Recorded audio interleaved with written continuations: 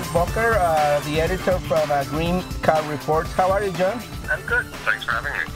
No, thank you for, for sharing your time. on uh, um, this show today, we're talking about uh, mostly green cars, the BMW i8, the new uh, super electric plug-in hybrid car. It's kind of a long way to describe it, but that's what it is. And uh, what all this means for for uh, consumers. I mean, uh, we're living probably in the best era for new technology in cars, probably ever. No, don't don't you agree, John? It's certainly an incredible change. Um, it's very exciting for folks like you and me to cover and I think in some ways, every day, a lot more car buyers and consumers are starting to think about a wider variety of choices. They don't necessarily have a lot of space yet in the showroom when you go in to buy a car, but people are much more aware. Certainly, Green Car Reports is getting an enormous amount of questions about what are these electric cars? What does it mean to plug in a car? you know, how does that actually work in real life for me? And that's uh, that's probably the, the, the topic that is going to be very hot for the ne- next uh, few years because I mean there's like a, a, lot of new cars coming up with this new technology at different ranges, right? Absolutely. And you know, someone once put it that the automobile is our last major appliance that hasn't been electrified. You know, pretty most people have clothes dryers that are electric. We still have gas stoves out there for various reasons, but you know, more and more leaf trimmers and lawnmowers and things like that are electric. Cars by and large, are still running the same way they did a century ago. They're taking a very high energy hydrocarbon fuel and using an incredibly complex device to turn that into uh, torque that turns your wheel. Although unfortunately, you waste about seventy-five percent of that energy.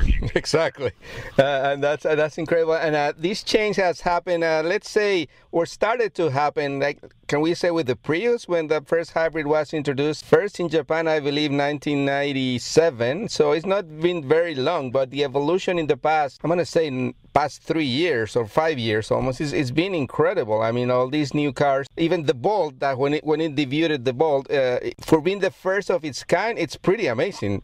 It really is. And, you know, as you say, it's been less than 20 years since the first modern car with a high voltage battery pack hit the market at all.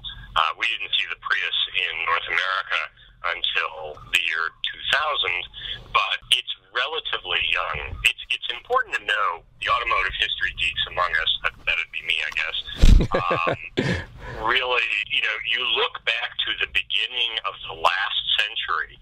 In 1900, cars cars were evenly split, about a third, a third, and a third. A third of them ran on electricity, old lead acid batteries, and they were considered refined, the smoothest, the nicest, but they had limited range. Back then, about 30 miles uh, of range. Yeah.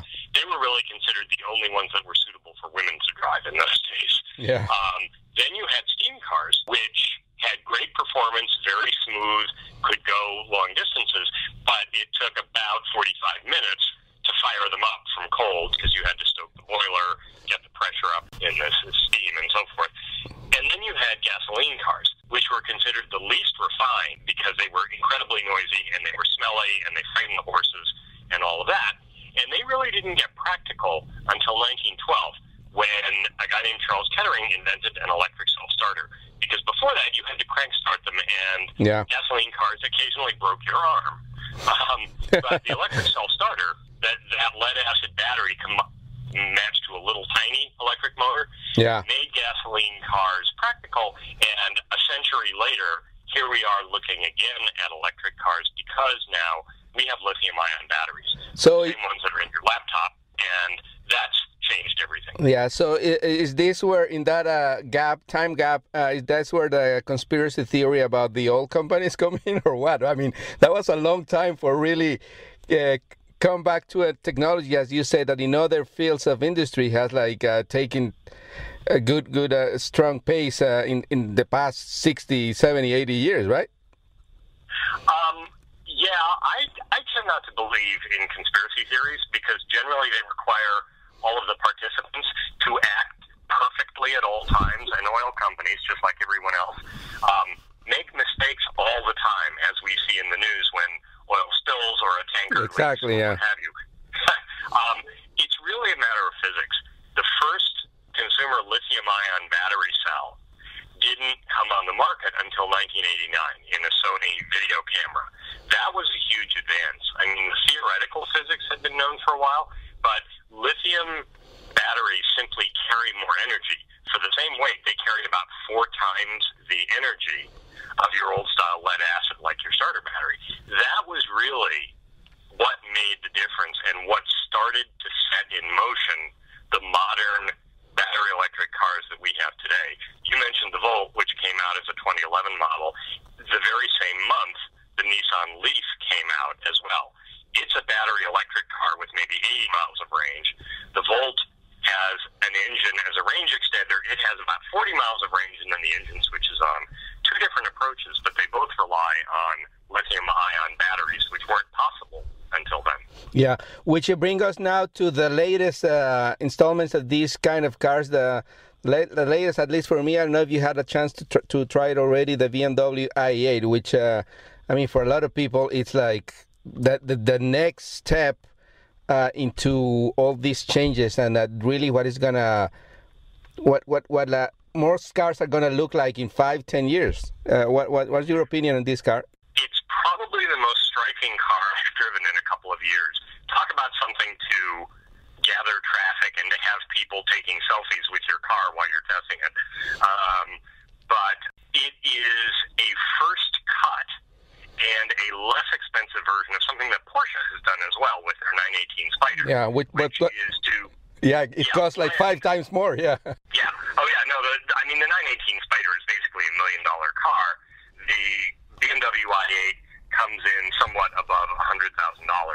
It is, you know, if you look at them, a lot of people who buy striking, expensive sports cars don't really spend a lot of time driving them fast. They don't spend a lot of time driving them, period. I know. But the i8 is, in some ways, the antithesis of the BMW i3, which is their all electric car.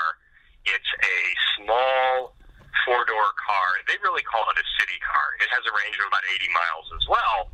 Um, but it's unusual looking to be charitable. The i8 is stunning. I haven't found anyone who doesn't like the looks. And when you tell people, yeah, it's a BMW, it's this brand new sports car, it's got a carbon fiber reinforced body. Oh, and by the way, it plugs in, their jaw just drops. Exactly. It's a way to get people into electric cars where they're, they're going to look at some of the other options and say, yeah. Yeah, it's like the ultimate concept car, like brought to production, really almost in the same uh, way it was introduced almost five years ago as a as a prototype. And a BMW uh, uh, is, is calling it one of the most important, if not the most important car in their 98 year history. I mean, that's a lot to say, no? Yes, it, it, that's exactly right. And BMW really, you know, the Germans were slow to the electric car game. The Japanese have a lot of experience with hybrids, as does Ford. Nissan really took a huge bet in trying to get ahead in electrics and be to electric cars what Toyota is to hybrids. But BMW, of the three German makers, BMW, Mercedes Benz, and Audi slash Volkswagen Group, BMW is by far the most uh, advanced. They are using new materials like carbon fiber reinforced plastic for the body. They've really gotten religion, and these two, the i3 and the i8 that we're talking about now, are probably just the first two of an increasing range of cars that plug in for some or all of their range. And BMW has really invested in the future in a way that the other two don't seem to have. We're talking to John Voelcker, the editor of Green Car Reports. And uh, John, uh, these cars, uh, obviously, like any other technology, I mean, they're a little bit pricier than the other. And When do you expect uh, the prices to start, like coming down or leveling up with the other uh, powertrains, uh, like gas, di- gasoline, diesel, etc.? It's a good question, and it's it's really the one that will determine when electric cars start taking off in the mass market.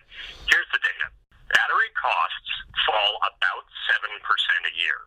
It's not like you know microchips where they double in performance every 18 months. That's not how battery chemistry works. Yeah. But seven percent a year doesn't help this year, doesn't help next year, but within five years, you know, we've already had four years on the market within another three to five years, you'll be half the cost of what we were in 2011.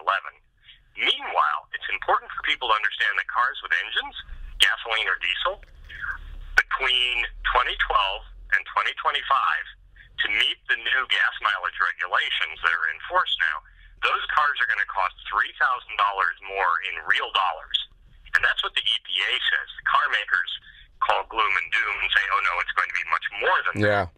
So what you got is battery costs coming down every year and the cost of regular cars going up every year to meet the gas mileage rules. Oh. At some point, I figure 2020 to 2023 maybe, all of a sudden people are going to be looking at cars in the showroom where the battery car is cheaper, the gasoline car is more expensive, and they still may not be straight across. Yeah. But when the price differential comes down, someone's going to say, "Oh, wait, so the battery car only costs me a quarter as much per mile?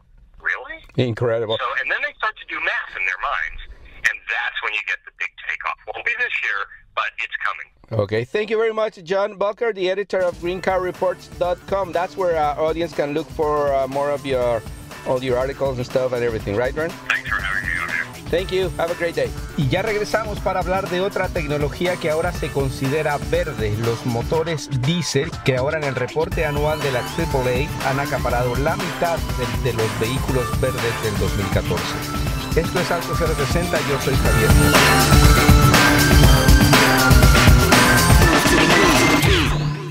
Este programa fue una producción de National Latino Broadcasting.